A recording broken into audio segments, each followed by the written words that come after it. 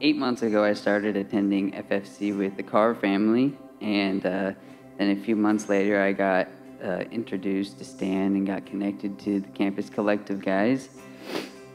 And through that, I was convicted and led to put my uh, put my faith into Jesus, and then I was saved. Amen. Tate, do you believe that Jesus Christ is your only way to heaven, your only way for the forgiveness of your sins? Yes. Amen. Uh, Tate, why do you want to be baptized today? Uh, I choose to be baptized to obey Christ and to show the church that I have been saved.